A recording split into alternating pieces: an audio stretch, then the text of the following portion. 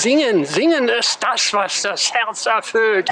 Für mich ist Singen eine Raum- und Zeitmaschine zugleich. Okay, und nochmal.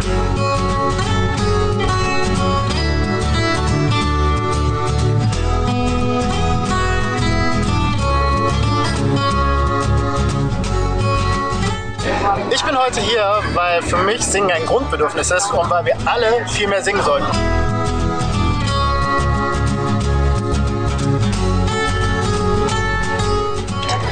Ich bin heute hier, weil Singen unfassbar viel Spaß macht und das Chorleben und das Chorsingen vor allem in dieser Zeit wieder mehr in den Fokus gerückt werden muss.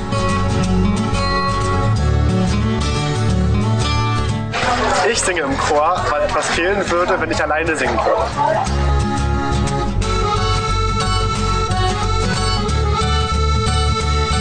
Das Singen ist äh, meine Herzensangelegenheit. Durch die Musik komme ich in ganz verschiedene Welten. Und äh, besonders in, in der Corona-Zeit ist es so hilfreich, wenn man ein bisschen verreisen kann mit der Musik. Ich bin heute hier, weil das Gemeinschaftsgefühl, das man beim Chorgesang bekommt, unersetzbar ist. Singen, singen ist das, was das Herz erfüllt, was den Körper frei und frisch macht. Mehr wollen wir doch nicht in dieser Zeit.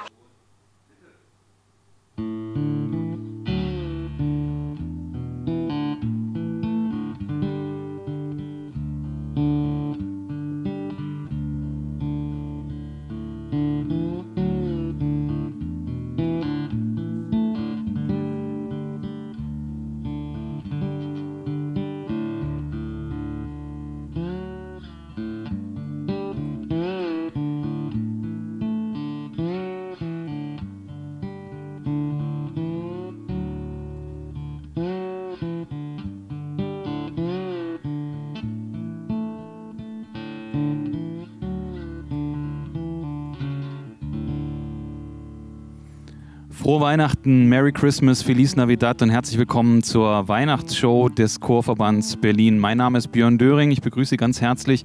Ich freue mich, dass Sie dabei sind. Sie kennen mich vielleicht von der Vettler Musik hier in Berlin, die ich seit zwei Jahren organisieren darf. An der Gitarre begrüßen wir heute Jens Gebhardt. Ja, das ist die Weihnachtsshow des Chorverbandes. Wir haben eigentlich, und das ist, glaube ich, der Satz des Jahres 2020, alles anders geplant. Es ist alles anders gekommen. Ähm, wir hatten eigentlich gehofft, dass wir hier mit vielen Menschen oder zumindest mit einigen Menschen auf der Bühne sein könnten, ähm, dass wir ihnen auch tatsächlich ein bisschen Musik live hier aus dem Astra in Berlin präsentieren könnten. Leider ist seit November das Pandemiegeschehen wieder ein ernsteres und täglich ernster werdendes geworden und deshalb haben wir darauf verzichtet, hier auf der Bühne Live-Musik zu haben, sondern bringen die ihnen dann per Video. Und da wird es dann ganz schöne Videos geben, ganz namhafte Sängerinnen und Sänger, die für Sie Musik machen werden, bringen wir Ihnen nach Hause. Ähm, und wir hoffen, dass Sie Spaß haben werden. Es ist unsere Reaktion darauf, wie dieses Jahr sich entwickelt hat. Äh, Wir möchten Sie einladen zum Mitsingen, zum Mitmachen. Das ist ein ganz großer Teil dieser Show. Und Sie haben ja im äh, Trailer schon gesehen, im Sommer war das zeitweise mal möglich, nachdem im März zunächst mal ähm, ja, das Chorsingen gar nicht mehr möglich war und gar nicht mehr erlaubt war hat der Sommer eine kleine Erleichterung gebracht. Man konnte zumindest draußen wieder zusammen proben, mit Abstand natürlich. Das war für viele sicherlich auch gewöhnungsbedürftig. Ähm, aber es war ein Zusammenkommen. Und Zusammenkommen wollen wir hier heute auch äh, zu dieser Weihnachtszeit, die für alle Chöre eigentlich ja das Highlight des Jahres sind.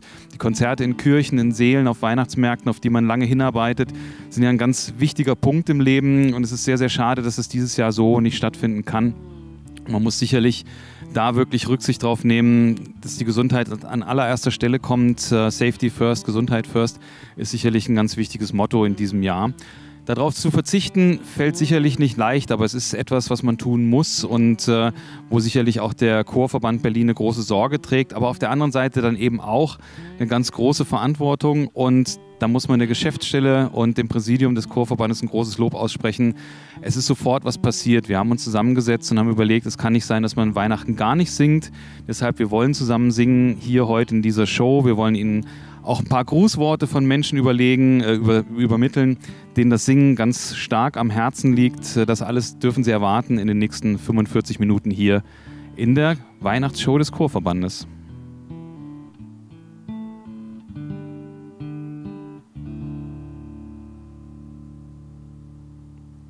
Und wir legen auch gleich los mit der ersten Mitsingaktion. Begrüßen Sie Bastian Holze. Die Weihnachtstage sind im vollen Gange und wir sind voll vom Essen und haben das Gefühl, dass wir jetzt wahrscheinlich sehr, sehr träge sind und sehr viel rumgesessen haben und uns irgendwie gar nicht so richtig bewegen wollen. Und davon wollen wir jetzt mal alle so ein bisschen wegkommen. Und um von, meiner Weihnachts-, von meinem Weihnachtsbauch abzulenken, zum Beispiel, habe ich direkt meine Frau neben mich gestellt. Mit einer zweiten Weihnachtsbauch. Auch schön.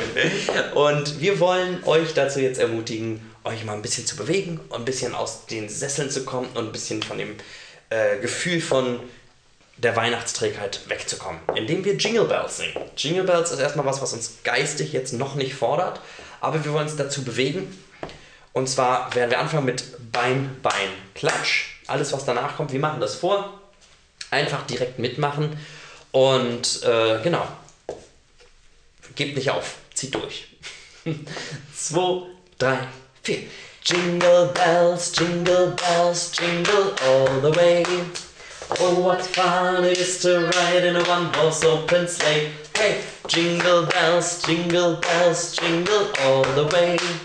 Oh, what fun it is to ride in a one-horse open sleigh. Dashing through the snow in a one-horse open sleigh. O'er the fields we go, laughing all the way. Bells on bobtail ring, making spirits bright.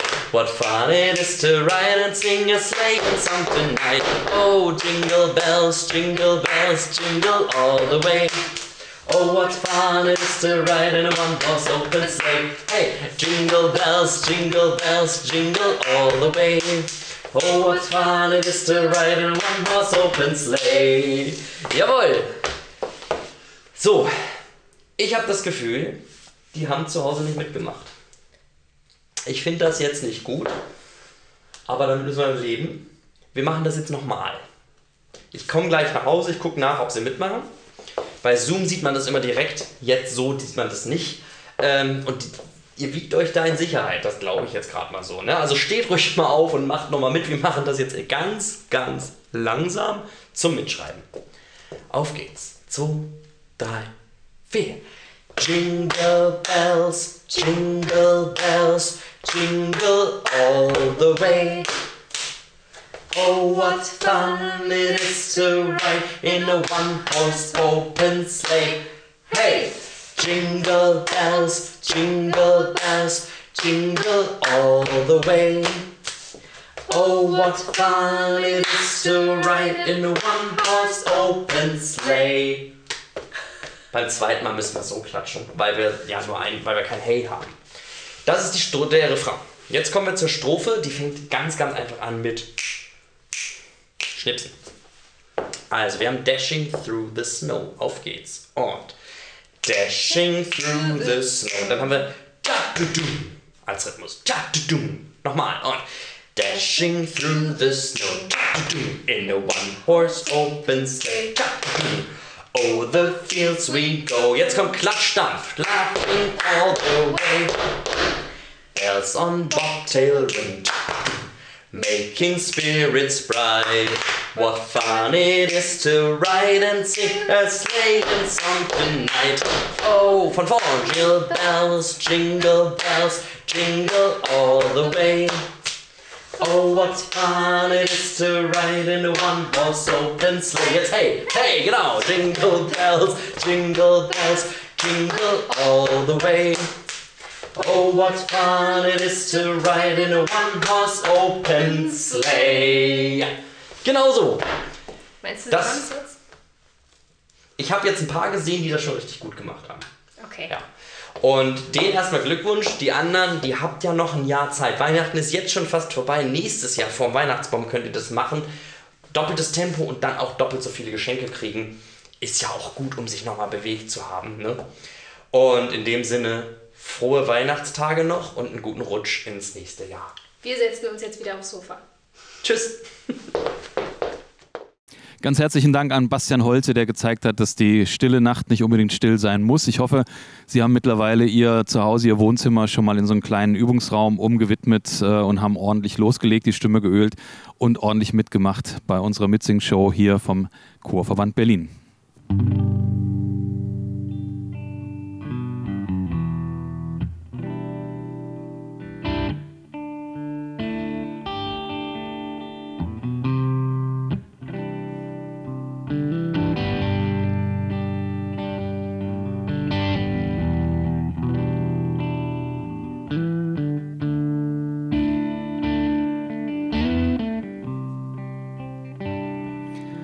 Jetzt freue ich mich darauf, Ihnen jemanden begrüßen zu dürfen, der sich seinen Weihnachtsurlaub ganz sicher verdient hat. Das ist der Bürgermeister von Berlin und gleichzeitig Senator für Kultur und Europa, Dr. Klaus Lederer. Er hat gekämpft wie kein zweiter für das Überleben der Kultur, für die Sicherung des kulturellen Erbes, möchte man ja fast sagen, aber eben auch für die Sicherung der vielen Kulturschaffenden hier in unserer Stadt. Ähm, er hat Programme ins Leben gerufen, er hat sich stark dafür gemacht, dass es Unterstützung gibt für Solo-Selbstständige, dass es finanzielle Unterstützung gibt, aber auch strukturelle Unterstützung. Ähm, klar gab es auch Auseinandersetzungen, klar gab es auch Diskussionen darüber, wann man wo, unter welchen Bedingungen singen darf.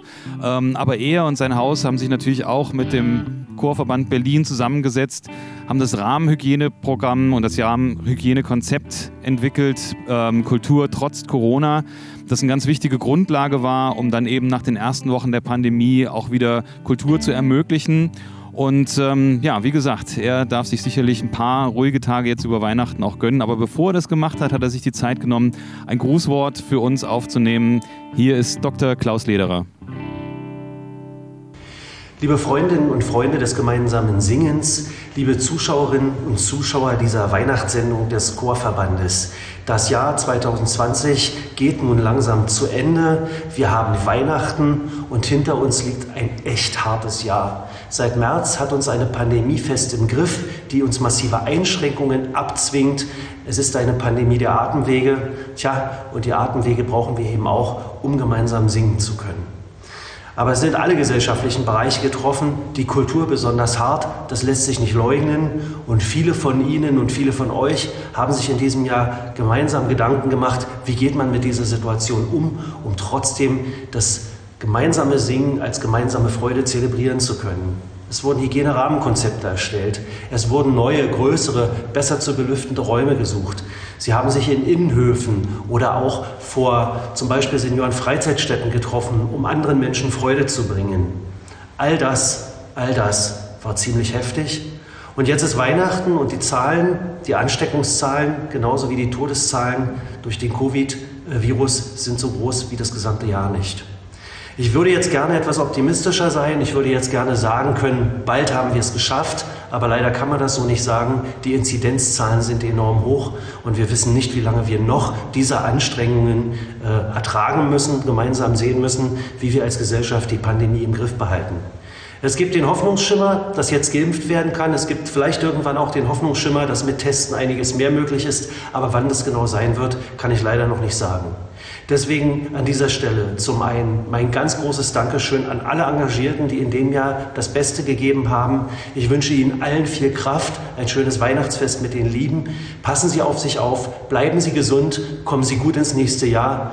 Und wir hoffen alle gemeinsam, dass die Vernunft in dieser Gesellschaft und der wissenschaftliche Fortschritt es uns ermöglichen, bald wieder gemeinsam zu singen. Das war der Berliner Bürgermeister und Senator für Kultur und Europa, Dr. Klaus Lederer. Und ich finde, man merkt ihm ja jedes Mal an, wenn er redet, äh, wie sehr er nicht nur für Kultur brennt, sondern eben auch für das gemeinschaftliche Singen ähm, und dafür, dass es auch möglichst schnell dann wieder machbar sein wird, dass man zusammenkommt und miteinander singt.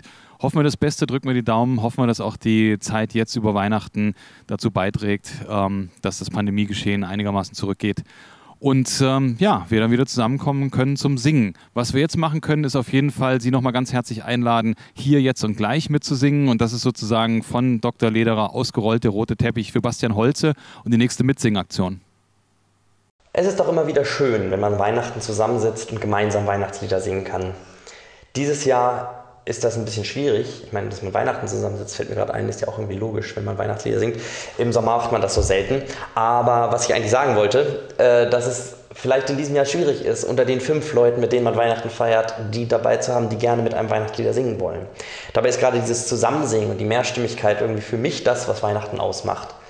Und deswegen freue ich mich sehr, dass heute hier meine Frau mit mir am Flügel steht und wir heute jetzt hier gemeinsam ein Weihnachtslied singen dürfen für die Weihnachtsshow vom Chorverband, nämlich Stille Nacht, Heilige Nacht.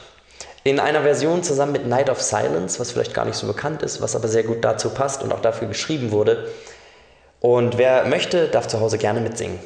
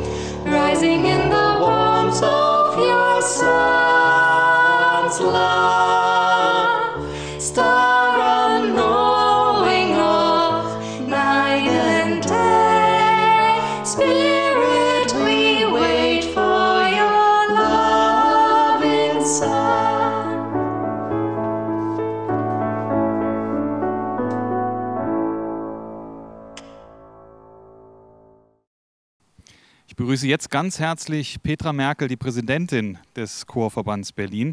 Frau Merkel, froh, frohe Weihnachten. Wie haben Sie Weihnachten bisher gefeiert?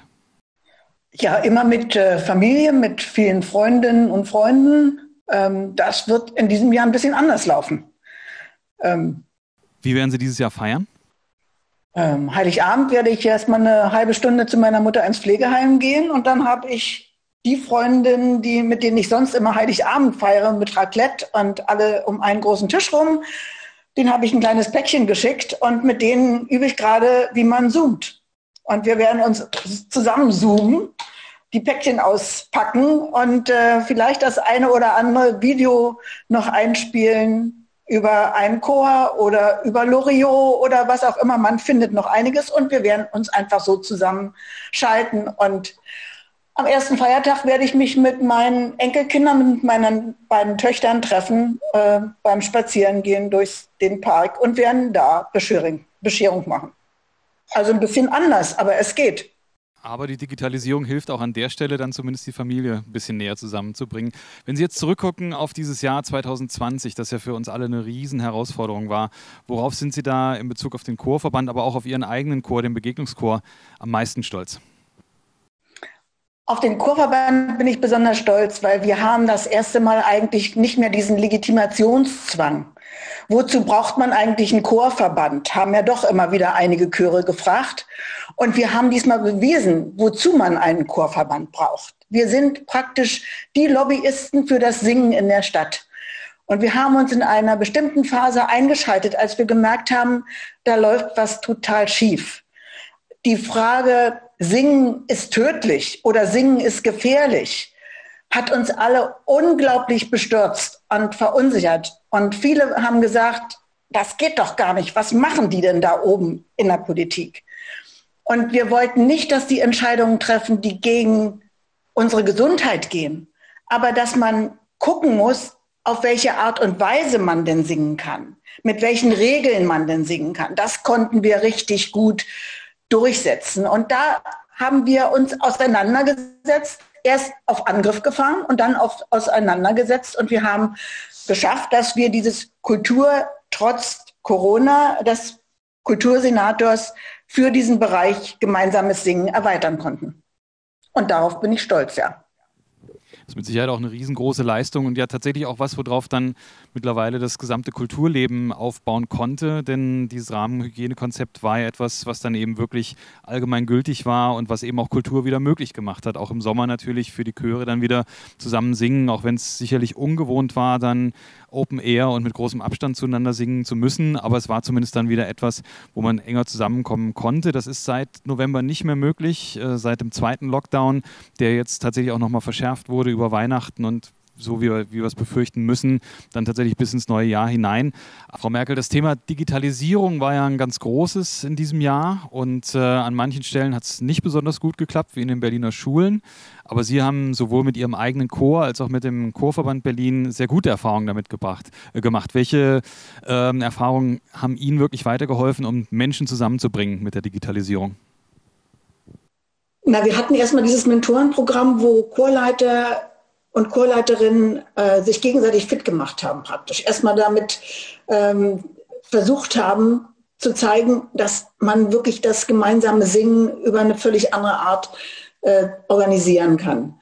Ähm, solange ähm, es nicht möglich ist, dass wirklich alle zusammen an verschiedenen Orten ohne zeitliche Verzögerung äh, singen können, ist das immer ein Vehikel. Aber es hält einfach Chöre zusammen. Wir haben auch gemerkt, dass das nicht unbedingt eine Frage des Alters ist. Es gab manchmal Anfragen, wo ältere Chöre gesagt haben, wir wollen da mitmachen, aber unser Chorleiter ist nicht so richtig davon überzeugt. Also es waren sehr unterschiedliche Parts, die wir hatten und äh, das war gut. Ähm, ich glaube auch, dass Digitalisieren wird weiter einen Schwerpunkt haben, weil wir werden natürlich als Chöre es äh, brauchen, dass wir innerhalb des Netzes sichtbarer werden. Jetzt völlig unabhängig von der Frage Corona. Wir müssen Werbung für uns machen. Wir müssen nach außen zeigen, was wir singen, wie wir singen, mit welcher Leidenschaft wir singen und was wir gemeinsam erreichen. Und diese ähm, Digitalisierung ermöglicht uns einfach in dieser Richtung unglaublich viel. Und trotzdem wissen wir, dass das nicht das Gleiche ist, als wenn man wirklich gemeinsam in einem Raum singt, einander hört, zu wissen, wer wann welche Einsätze gemeinsam bringt, das ist schon super als Chor. Und dieses soziale Miteinander ist da ja noch gar nicht irgendwie mit aufgeführt. Das gehört ja auch zum Chor dazu. Das hat ja ein eigenes Leben, dieses Chorleben. Das ist ja auch etwas gemeinsam erleben, etwas gemeinsam erarbeiten und gemeinsam auf die Bühne bringen und vors Publikum bringen. Das ist doch super. Das macht uns doch alle die Freude. Das auf jeden Fall. Und wir sind ja jetzt gerade so in diesen letzten Tagen des Jahres und das sind ja immer auch die Tage der Wünsche, der guten Wünsche, manchmal auch der frommen Wünsche. Was persönlich wünschen Sie sich für sich selbst, aber eben auch für den Chorverband Berlin für das Jahr 2021? Na, ich glaube, für mich selbst und für meine ganzen meine Familie, für meine Freunde wünsche ich uns, dass wir alle gesund bleiben. Ähm, und was wünsche ich mir für den Chorverband für 21? Dass es uns einfach gelingt, ähm, trotz Corona, das wird uns ja nicht so sehr schnell ähm, verlassen, dass wir Wege finden, wie wir miteinander singen und wie wir miteinander die Chöre aufrechterhalten und wie wir vielleicht auch Chöre, die sagen, oh nee, jetzt haben wir so lange nicht gesungen als Sängerinnen und Sänger, jetzt geben wir auf, wie wir sie vielleicht davon abhalten können und sagen können, wir schaffen es wieder gemeinsam, dass ihr auch weiter singen könnt. Also gerade diejenigen, die lange Zeit miteinander gesungen haben, sind jetzt vielleicht entmutigt. Und den Mut zu machen und zu sagen, hier, wir geben Instrumente in die Hand, wir unterstützen euch dabei, dass es wieder gelingt, dass ihr zusammenkommt. Das wäre einfach unsere Aufgabe für das nächste Jahr. Wir müssen Formate schaffen, wo wir diejenigen, die aussteigen wollen, daran hindern, uns vielleicht doch eher wieder äh, dazu zu kommen zum Chorverband und zum gemeinsamen Singen. Und wir müssen einfach auch neue Leute gewinnen fürs Singen, weil das ist unsere Aufgabe. Denn Singen macht einfach Spaß, macht froh und glücklich ich wollte gerade sagen, und glücklich vor allen Dingen. Und bei der Aufgabe, da drücke ich Ihnen alle Daumen, die ich zur Verfügung habe und noch ein paar mehr. Ich wünsche Ihnen alles Gute, viel Kraft, viel Erfolg und ähm, ein paar ruhige Tage jetzt in dieser Weihnachtszeit und dann eben auch wirklich einen guten Start in dieses Jahr 2021. Petra Merkel, vielen Dank, Präsidentin des Chorverbandes Berlin. Tschüss. Danke, alles Gute für Sie. Tschüss. Zu Gast habe ich jetzt Thomas Hennig, der ist nicht nur Vizepräsident des Chorverbandes Berlin, sondern er ist auch sehr aktiv als Chorleiter von gleich mehreren Chören. Hallo Herr Hennig, frohe Weihnachten. Hallo Herr Döring, ebenso frohe Weihnachten. Ich hoffe, es geht Ihnen gut und das Jahr hat nicht allzu sehr auf Ihnen gelastet, aber ich denke mir schon, dass man als Chorleiter natürlich eine extreme Verantwortung hat, seit März noch mehr als wahrscheinlich vorher schon, darin überhaupt einen Chor dann auch tatsächlich beisammenzuhalten, wenn man nicht proben kann. Das ist wohl wahr. Also äh, ich bin wohl auf, ich bin gesund, aber ähm, das Jahr lastet sehr, sehr schwer auf mir, muss ich sagen. Aber das ist gar nicht das Entscheidende. Das Entscheidende ist, dass es uns allen schlecht geht. Das ist auf der einen Seite möglicherweise ein Trost, weil wir halt solidarisch sind mit meinen Kolleginnen und Kollegen. Ähm, aber es lastet auf uns allen, auf meinen Kolleginnen und Kollegen, ähm, den Dirigenten und Chorleitern insbesondere die Verantwortung, die wir für unsere Chöre in diesem Jahr tragen mussten und auch sicherlich im nächsten Jahr noch weiterhin tragen werden. Frau Merkel hat es ja gerade eben schon im Gespräch angedeutet. Ähm, es gab dieses schreckliche Wort vom Singen, das angeblich tötet, aber es ist ja nicht das Singen, sondern es ist das Virus, das tötet. Ähm, war das für Sie auch nochmal eine schwere Aufgabe, ein Kampf in der Öffentlichkeit, äh, das aus den Köpfen der Leute wieder rauszubekommen, dass eben nicht das Singen gefährlich ist, sondern die Krankheit? Na, das wird es erst noch werden. Ähm, ich denke, dass diese schwere Stigmatisierung, die wir in diesem Jahr erlitten haben, wird noch nicht so schnell aus den Köpfen wieder raus sein. Es hat eigentlich noch gar nicht richtig begonnen. Ich denke, da werden wir im nächsten Jahr noch richtig viel mit zu tun haben, äh, dass wir deutlich machen, ähm, dass das Singen überhaupt gar keine Gefahr an sich darstellt, sondern dass die damit verbundene ähm, Auswirkung, der Ausstoß, die Emissionen der äh, Aerosole das eigentliche Thema sind. Ähm, und dass das, was in den Aerosolen steckt, nämlich eben halt das Virus, das Tückische und Gefährliche ist. Wir haben früher immer davon ge ge gesprochen, wie gesund das Chorsingen sein soll. Ja, das Chorsingen ist gesund und ähm, es ist auch nicht schädlich. Und das, was wir arbeiten, ist auch nicht schädlich. Das, was schädlich ist, sind die Begleitumstände. Die, um, über diese Begleitumstände haben wir uns sehr, sehr viele Gedanken gemacht im jetzt vergehenden Jahr, ähm, wie wir das in den Griff kriegen können mit Hygieneschutzmaßnahmen und Konzepten mehrerer Art.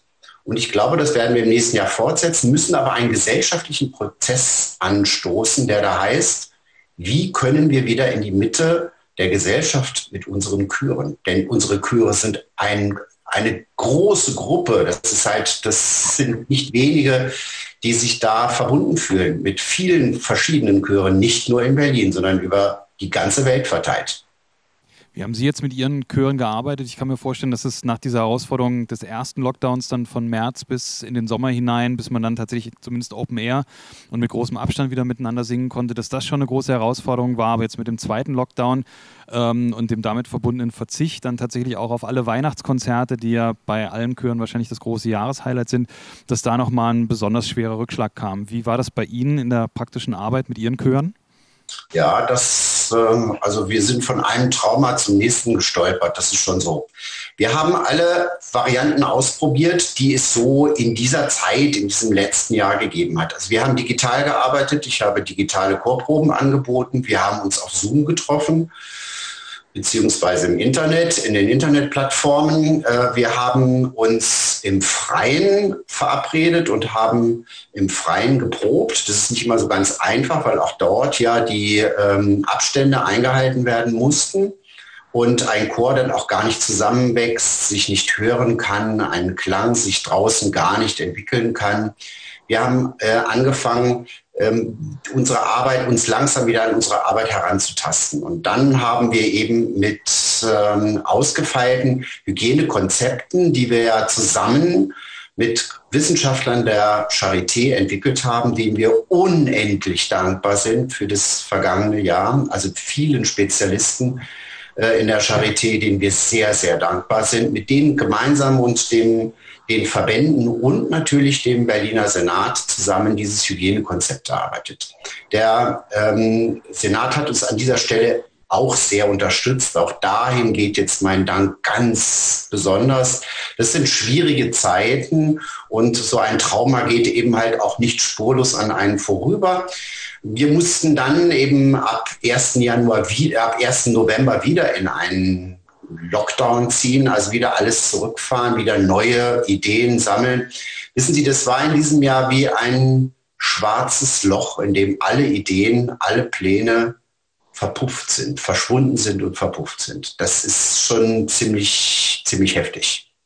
Aber wenn wir jetzt den Kopf zumindest einmal drehen ähm, und ins nächste Jahr schauen, 2021, jetzt die Jahresendzeit ist ja auch die Zeit der Wünsche. Ähm, was ist Ihr größter Wunsch für das Jahr 2021? Mein größter Wunsch ist, dass wir innerhalb des nächsten Jahres es wieder schaffen werden, uns ähm, nicht nur zu versammeln und gemeinsam zu singen, gemeinsam Klänge zu erarbeiten und so einen Klang wieder zu finden, sondern äh, halt auch so nach und nach die Umstände, unter denen wir überhaupt arbeiten können, wenn wir denn zusammen singen wollen, also mit Luftreinigern, mit riesigen Abständen, ähm, mit Masken zum Teil und so weiter, dass wir davon schrittweise wieder in die Situation kommen, dass wir uns als Chor wieder verstehen, als Chor empfinden, als Chor hören werden. Das ist mein allergrößter Wunsch für das, äh, für das nächste Jahr, dass ich das stückweise wieder aufbauen möge und dass wir nicht die Letzten sind, die wieder an den Start dürfen, wie es beim ersten Lockdown war. Thomas Hennig, ganz herzlichen Dank. Ich wünsche Ihnen alles Gute für das nächste Jahr und weiter eine schöne Weihnachtszeit. Tschüss. Danke, ich wünsche Ihnen das auch. Mir ist jetzt erst klar geworden, wie wichtig live gemachte Musik wirklich in unserem Leben ist. Wahrscheinlich für sehr, sehr viele auf dieser Erde. Vielen herzlichen Dank. Dankeschön und alles Gute für Sie. Tschüss. Hallo ihr Lieben, wir sind Klangbezirk aus Berlin und wir freuen uns, für euch ein kleines winterliches Weihnachtslied zu singen. Es geht um Schnee, das heißt, man kann es auch noch nach Silvester singen.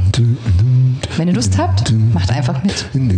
Es ist Let It Snow, Let It Snow, Let It Snow.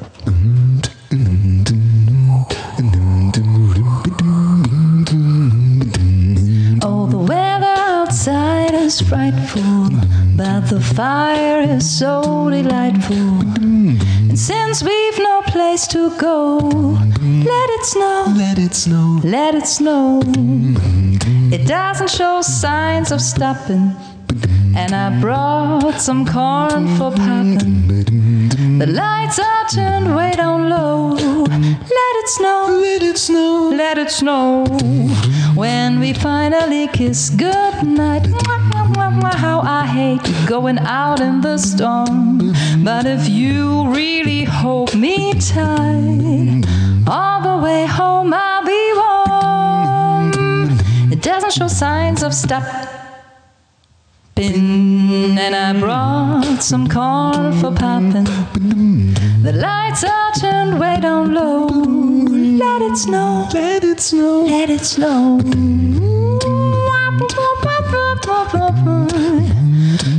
Babble,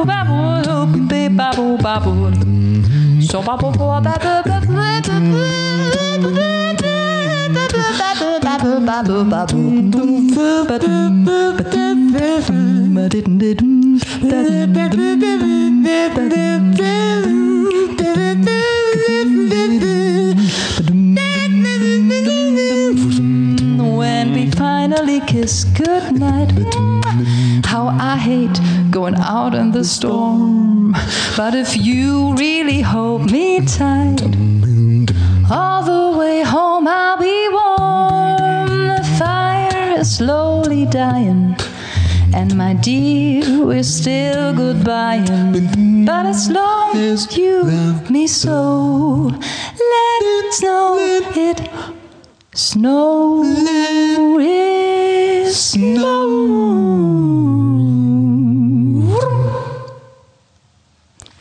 Fröhliche Fröhliche Weihnachten. Das war der Klangbezirk.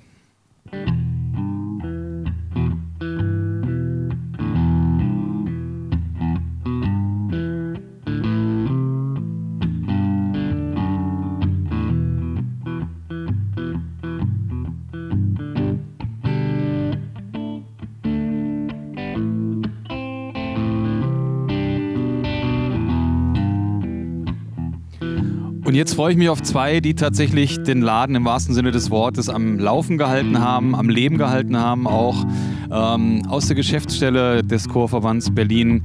Gerhard Schwab, den Geschäftsführer, und Maiko Köhler, der für die Projekte und für die Kommunikation zuständig ist. Ich war in den letzten Wochen ja in der Vorbereitung auf diese Show sehr viel mit Ihnen in Kontakt, auch das ganze Jahr über und kann sagen, dass das wirklich eine sehr, sehr intensive Zeit war, was die alles gewuppt haben.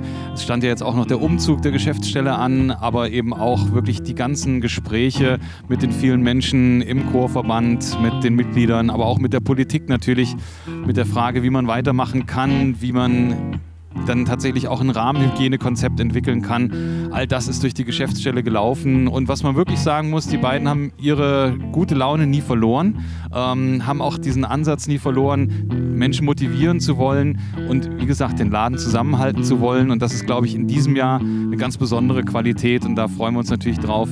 Und äh, ich habe das immer wieder mitbekommen, diese ganzen Gespräche mit dem Präsidium natürlich auch, aber auch mit den vielen Chören, den Chorleiterinnen. Das hat, glaube ich, auch an der Kraft gezehrt und umso bemerkenswerter, dass die beiden immer noch am Ball sind. Tja, und jetzt übergebe ich natürlich an Gerhard Schwab und Maiko Köhler. Und die beiden erzählen aus ihrer Perspektive, wie dieses Jahr gelaufen ist und was für 2021 ansteht. Was für ein Jahr.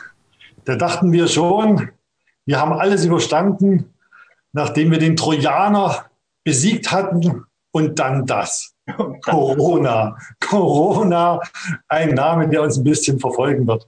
Aber kurz natürlich wollen wir nochmal zurückstreifen, was ist eigentlich das ganze Jahr über passiert. Und wir haben begonnen, natürlich üblicherweise im Chorverband Berlin, mit der großen Reihe, der Sonntagskonzertreihe in der Berliner Philharmonie. Und wir haben es geschafft, zwei tolle Konzerte präsentieren zu können. Das waren der größten Liebe, aber Bedarf ist die Erde und das Kontrastprogramm Musikalische Begegnung zwischen gestern und heute. Und das waren wunderbare Konzerte, leider die einzigen in dieser Reihe. Mehr haben wir leider nicht geschafft, denn dann kam Corona. Wir singen da heute nicht. Der Lockdown, genau. Der Lockdown führte ja dazu, dass äh, viele Chöre, beziehungsweise alle Chöre gar nicht mehr proben durften, nicht drinnen, nicht draußen. Das mit dem draußen kam ja erst viel, viel später aufgrund von ähm, einem Zusammenschluss von Wissenschaftlern und Verbänden, ähm, dass Chöre die Möglichkeit hatten, wenigstens dann draußen proben zu können und ihre ihr gemeinschaftliches Singen weiter äh, voranbringen zu können. Daraufhin kam die Aktion Macht Chören den Hof zustande. Eine Aktion, wo wir Unternehmen aufforderten, ihre Plätze, die sie möglicherweise nicht nutzen zu der Jahreszeit oder generell zu diesen äh, abendlichen Zeitstunden für Chöre zur Verfügung zu stellen. Und da haben sich eine ganze Menge gemeldet. Dafür nochmal vielen, vielen herzlichen Dank. Unter anderem einer der Großveranstalter, sage ich mal, die äh, Chören Platz äh, angeboten haben, war die Malzfabrik, die, ich glaube, 15 Chören die Möglichkeit gegeben hat, in der Woche und am Wochenende ähm, ihre Chorproben dort durchzuführen. Aber auch die Kleingartenanlagen haben sich zur Verfügung gestellt. In ganz Berlin äh, sind Chöre dorthin gegangen und konnten dort auf den Vereinshöfen, von den Vereinshäusern, ich weiß gar nicht, ob das Vereinshöfe nennt, ob man die so nennt, aber bei den Vereinshäusern konnten Chöre proben. Es gab ähm, den Montbijou Park, das Theater im Montbijou Park, das äh, den leerstehenden Platz, den nicht bespielbaren Platz zur Verfügung gestellt hatte. Und so geht's weiter. Es waren viele, Sophienkirche kann ich noch äh, anmerken. Es gab viele, viele weitere Unternehmen, die uns da geholfen haben und die in dieser Zeit den Chören sehr zur Seite gestanden haben. Nochmal vielen Dank dafür. In den Gärten der Welt war ich auch sogar persönlich gewesen. Die hatten auch damit zu beigetragen, dass wir da singen konnten und ich konnte es live erleben, wie zum einen der Hörgenuss da war, aber zum anderen auch die Chöre dort die Chance hatten, neue Mitglieder zu werden. Werben. Es war wunderbar. Dankeschön. Die Leute blieben ja einfach stehen und haben uns zugehört. Das war wirklich toll. Und wir haben weitergemacht. Und was kam dann? Es kam der Tag der deutschen Einheit, wo wir gar nicht genau wussten, können wir überhaupt was durchführen unter den jetzigen schwierigen Bedingungen. Aber in Zusammenarbeit mit der Berliner Domkantorei kam die Idee auf, dass wir vor Ort, vor dem Berliner Dom, gemeinsam mit der Berliner Domkantorei, die natürlich schwer getroffen war durch Corona, es waren sehr viele erkrankt, haben wir gesagt, klar, wir machen gemeinschaftlich dort ein tolles Konzert und laden unsere Sängerinnen und Sänger dazu ein. Und es war eine Stunde lang Wohlgenuss. Nicht nur vom Berliner Dom, sondern auch im gesamten Lustgarten blieben die Leute stehen, sangen mit und es war eine wunderbare Atmosphäre. Ich habe persönlich mit einem jungen Mann sprechen können, der sagt, er konnte die ganze Woche schon nicht schlafen und hat sich so sehr auf dieses Singen gefreut. Und das zeigt einfach, die Leute brennen dafür, die Leute brauchen das. Es gehört zu ihrem Leben dazu. Es macht gesund, es macht glücklich, weil wir wissen ja genau, nur das Virus macht krank und nicht das Singen. Das Singen macht ein strahlendes Lächeln. das hat man auch wirklich gemerkt. Das hat man wirklich gemerkt, nach, äh, aufgrund der langen Zeit, wo keine Konzerte ja auch stattfinden durften, den ganzen Sommer über nicht, konnte man zwar draußen proben, aber keine Konzerte durften stattfinden.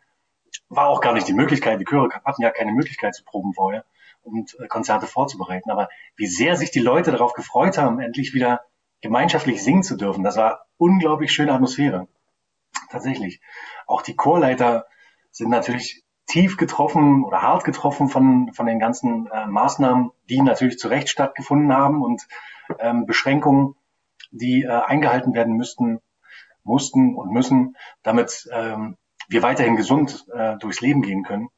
Aber auch die Weiterbildung gerade für Chorleiter und Chorleiterinnen sind auch eingeschränkt gewesen. Und wir haben tatsächlich mit dem Chorleiter-Seminar und dem Chorleitertag ähm, eine kleine Neuerung eingeführt. Und zwar bewusst äh, einen Kurs gewählt im Chorleitungsseminar, der auf das digitale Proben äh, hinweist und wie man dort möglicherweise eine gute Probe vorbereiten kann, wie man technisch auf einem äh, sehr guten Stand ist, damit man eine für die Zuhörenden, man kann ja leider noch nicht gemeinsam singen über die Videokonferenzsysteme, ähm, für die Zuhörenden eine gute, spannende Probe gestalten kann. Das war sehr, sehr spannend mitzuverfolgen. Und natürlich haben wir den ähm, sonst sieben Kursen eine Möglichkeit gegeben, eine kleine Pause zu machen und haben nur zwei Kurse davon in dieses Programm für dieses Jahr genommen, dass auch da die Möglichkeit besteht, dass Leute zwar daran teilnehmen dürfen, und können, aber nicht zu viel, so dass wir die Abstand- und Hygieneregeln dort einhalten können. Wir hatten noch den Grundlagen der Chorleitungskurs, der besonders für Anfänger natürlich eine, ja, ich sag mal, eine, eine Voraussetzung ist, um überhaupt vor einem Chor zu stehen. Hier lernt man, welche Schlagbilder gemacht werden, welche ähm, Möglichkeiten man hat, um einen Chor auf sich aufmerksam zu machen, wie man ein Dirigat richtig zählt, richtig schlägt. Das sind alles spannende Sachen für Chorleiter und Chorleiterinnen, die gerade anfangen, dieses Thema für sich zu entdecken. Und da waren eine ganze Menge Leute da, die das wahrnehmen wollten, äh, auch in dieser Zeit. Es war ein sehr, sehr spannendes, langes Wochenende. Es ging von Sonntag bis Mittwoch. Und am ersten Tag, quasi der Auftakt dieser Veranstaltung, war der Chorleitertag, wo wir auch verschiedene Dozenten und Dozentinnen hatten, die ähm, das Thema Singen im Alter und Singen mit Kindern ähm, ja, digital besprochen haben. Es gab viele, viele Einblendungen ähm, digitaler Art, viele Zoom-Konferenzen in diesem Fall. Es war eine unglaubliche Neuerung auch für uns vom Chorverband, diese technischen Möglichkeiten irgendwie auf, zu nutzen und für uns nutzbar zu machen. was wir natürlich auch gemerkt haben in dieser Zeit, dass das Thema Singen eine, einen schwierigen Ruf auf einmal bekommt. Und deswegen haben wir gleich gesagt, wir müssen investieren in unsere Öffentlichkeitsarbeit. Und wir haben uns hingesetzt und haben einen Imagefilm gedreht, haben eine Umfrage gestartet in unserem Chorverband und wir dachten am Anfang, ja, mal schauen, ob sich jemand meldet und auf einmal die Mails schwollen nur so rein. Wahnsinn, Wahnsinn, Wahnsinn, kann ich nur sagen. Und wir mussten auswählen und haben natürlich die besten, glücklichsten und schönsten und singesfreudigsten da ausgewählt und sind mit denen zum Studiodreh gegangen in die Malzfabrik und haben dort ein wunderbares Video gedreht, äh, was auch auf unserer Website und auf unserem YouTube-Kanal zu sehen ist, weltweit natürlich äh, schon die Leute gesehen und gehört haben. Und das zeigt nochmal, wie begeisternd Singen ist und wie man wirklich mit wenig Mitteln innerhalb kürzester Zeit Menschen, die sich nicht kennen, zu einem Chor formen kann und die alle Spaß miteinander haben und ein Feeling rüberbringen. Und dieses Feeling, das zeigt das eigentlich, was es bedeutet, gemeinschaftlich Musik zu machen. Es sind ja alles keine Solisten, es sind Chorsängerinnen und Sänger und denen macht es gemeinschaftlich Spaß zu singen. Und das sieht man und das ist ganz wichtig, dass wir das bald, bald, bald wieder bekommen können, um gemeinschaftlich wieder zur Probe gehen zu können und musizieren zu können, weil es fehlt uns allen. Das haben die Zuschauer ja auch am Anfang schon gesehen. Diese Bilder und diese ähm, Texte, die dort gesprochen worden sind, ganz am Anfang der Sendung, das war von äh, dem äh, Backstage-Dreh sozusagen von diesem Imagefilm. Und ganz am Ende dieser Sendung, dieser kleinen Weihnachtsshow, ähm, kann man auch nochmal den gesamten Film nochmal sehen. Genau, im Zuge dieser Öffentlichkeitsarbeit dachten wir uns auch, okay, wie können wir Leute, Chorsänger, Sängerinnen oder generell alle Musikinteressierten, wie können wir die zu Hause erreichen, wenn sie nicht zur Chorprobe gehen können? Und da kam uns eine Idee, vielleicht gehen wir zu denen nach Hause. Wir setzen uns mit denen zusammen aufs Sofa, geht leider nicht persönlich, aber dann doch in digitaler Art. Wir finden Künstler und Künstlerinnen der Chor- und A Cappella-Szene, die mit Musik ähm, groß geworden sind, äh, die einen gewissen Namen haben und die das Potenzial haben, mich, uns und die Zuschauer zu Hause zu begeistern und mitzunehmen, dass man gemeinsam singen kann, wenn auch nicht in Person, aber schon dann vom Bildschirm. So kam das Format Sing mit äh, ins Leben, dass wir auf YouTube, auf unserem YouTube-Kanal ähm, in den letzten fünf Wochen, sechs Wochen, ich weiß gar nicht, sind sechs Wochen gewesen, äh, als Livestream ähm, ja, produziert haben. Unter anderem waren mit dabei Klangbezirk, das waren, das war in der letzten Ausgabe, es war Jocelyn B. Smith, die großartige Sängerin, ähm, es war Hartmut und die Hitmaschine, zwei Männer, zwei Menschen, zwei Männer, die äh, in jeweils anderen Formationen noch viel bekannter sind als in dieser Formation. Der eine singt bei Maybe Bob, der andere bei On Air.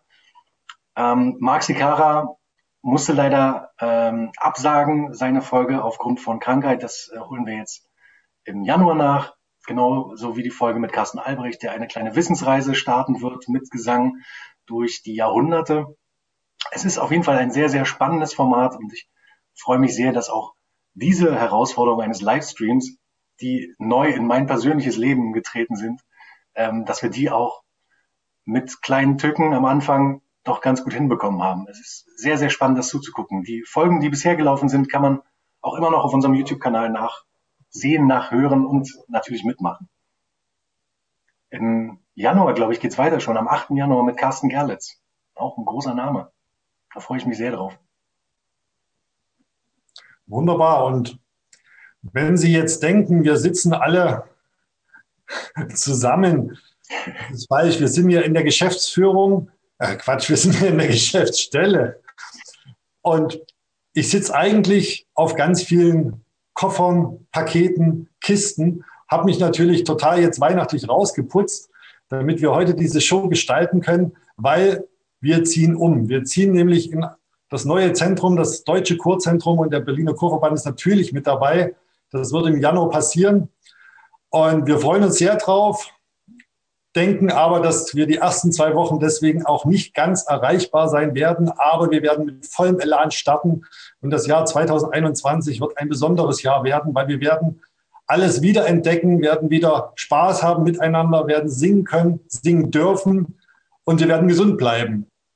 Und wir wünschen auf jeden Fall allen hier, die jetzt zuschauen, eine frohe, besinnliche Weihnachtszeit. Achten Sie auf sich und bleiben gesund. In diesem Sinne, frohe Weihnachten. Ho, ho, ho, frohe Weihnachten. Ich möchte nochmal betonen, das ist kein Symbolbild, was wir auf der Bühne haben. Da ist nämlich ein zahnloser Eisbär. Die beiden, die Sie gerade gesehen haben, Gerd Schwab und Maiko Köhler, die haben nämlich gekämpft wie die Löwen und zwar mit ordentlich Gebiss dahinter, ähm, damit es weitergehen kann mit dem Chorsingen, mit dem Chorverband Berlin. Vielen Dank an die beiden. Auch von mir persönlich nochmal. Ich hatte das Vergnügen, mit den beiden in diesem Jahr viel zusammenarbeiten zu können. Ganz herzliches Dankeschön.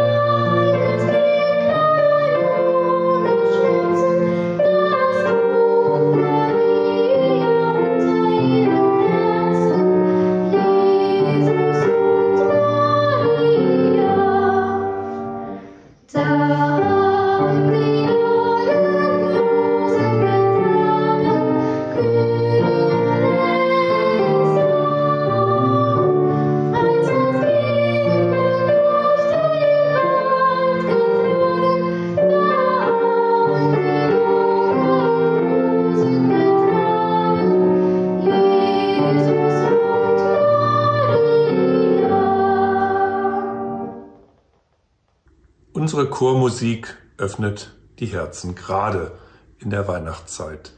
Deswegen kann jeder von uns nachvollziehen, wie schwierig diese Monate der Pandemie für uns alle sind.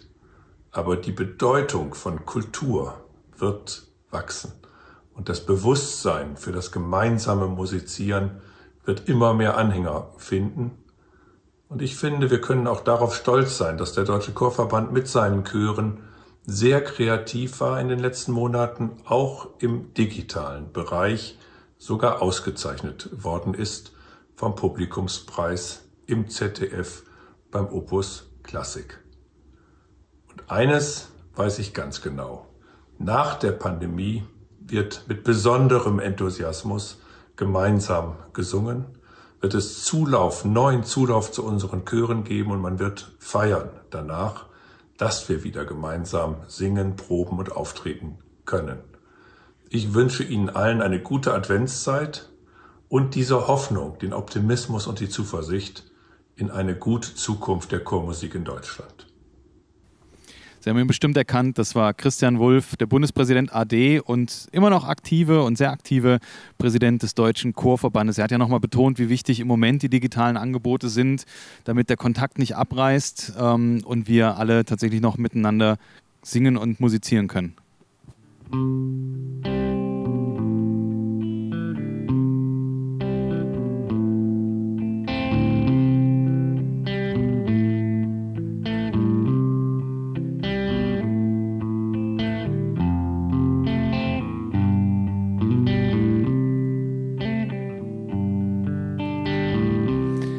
Aber insgesamt dürfen wir uns natürlich auch nichts vormachen. Wir alle wollen natürlich auch, dass wieder was passiert, dass wir auf Bühnen stehen können, dass wir Musik machen können, im Chor miteinander, dass wir singen können. Und äh, dieser Stelle, wir sind ja fast schon am Ende unserer Sendung, äh, ist es mir nochmal ganz wichtig, auch auf die Künstlerinnen und Künstler hinzuweisen, die ihr Leben damit verdienen, die tatsächlich ihren Lebensunterhalt damit verdienen, dass sie auf Bühnen stehen, dass Menschen kommen und Eintrittskarten kaufen, dass Menschen ihre Platten kaufen und ähm, dass es Festivals gibt, auf denen diese Künstlerinnen und Künstler auftreten können. Dafür drücken wir allen die Daumen, dass es wieder stattfinden kann, dass wir die Pandemie gemeinsam überwinden, dass wir diese furchtbare Krankheit, die sich weltweit ausgebreitet hat, tatsächlich gemeinsam besiegen und dass es im nächsten Jahr 2021 dann wieder eine Zukunft gibt mit Musik, die wir alle gemeinsam live erleben dürfen. Bis dahin wünsche ich Ihnen ganz schöne Weihnachten, einen guten Rutsch ins neue Jahr. Bleiben Sie gesund und gehen Sie das Jahr 2021 mit viel Mut und viel Liebe und viel Respekt für Ihre Mitmenschen an. Vielen Dank.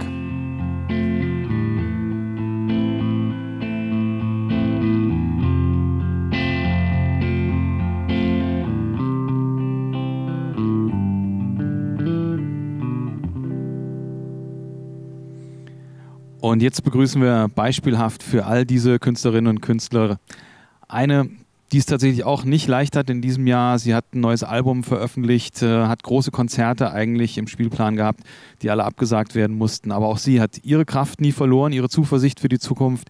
Hier ist Jocelyn B. Smith.